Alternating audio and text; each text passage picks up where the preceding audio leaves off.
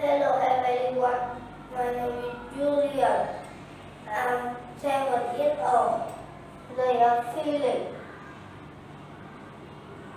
She, she is happy.